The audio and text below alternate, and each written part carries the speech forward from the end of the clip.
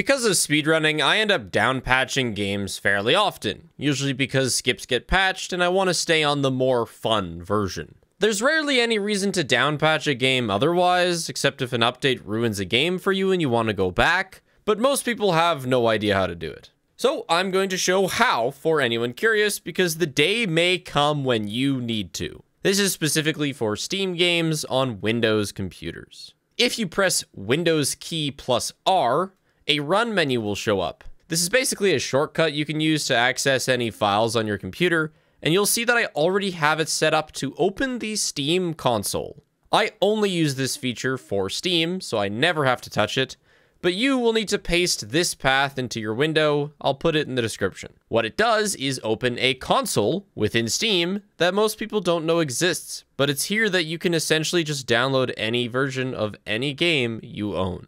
The tough part is finding the right codes because games aren't represented by their names, but by a string of numbers. I never have to go looking for these numbers simply because I join speedrun discords and they almost always have these codes to versions they use in resources, so it's a simple matter of pasting the command and your down-patched version will be downloaded.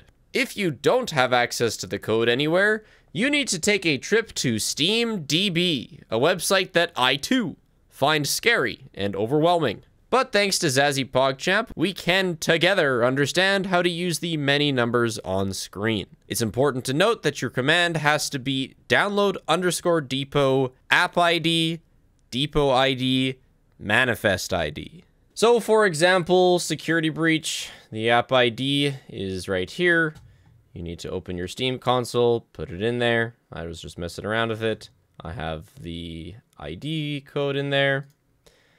Then go back and you got to go to depots. Uh, pick the one that you have because like there's DLC here. This is this one. So your depot ID is right here. It's often going to be quite similar to the app ID. And now you need the manifest, which is kind of the uh, the version more. So you can go to manifests and it has the whole change log history. there were like three updates in the first couple days, but if you want release patch, I assume you would just uh, grab this one, I guess. Boom. Enter. And it starts downloading. Once you've downloaded your down-patched version of your game, it will say Depot Download Complete. It can be found in your Steam folder that by default is in your system storage. Program files 86, Steam, Steam apps, and then this is the folder where game files are, but your downloaded depot will be found in content, and this is it. There's two things that you can do with this. One, you can just put the game folder somewhere else and run the game by just entering it and hitting the exe. This is what I do.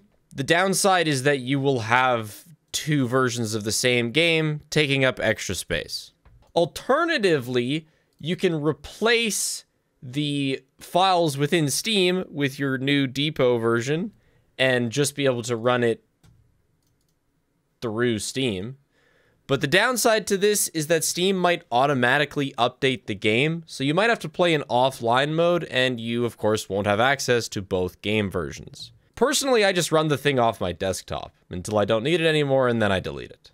That's uh, base knowledge tutorial of this stuff. Anything more complicated, I simply don't know.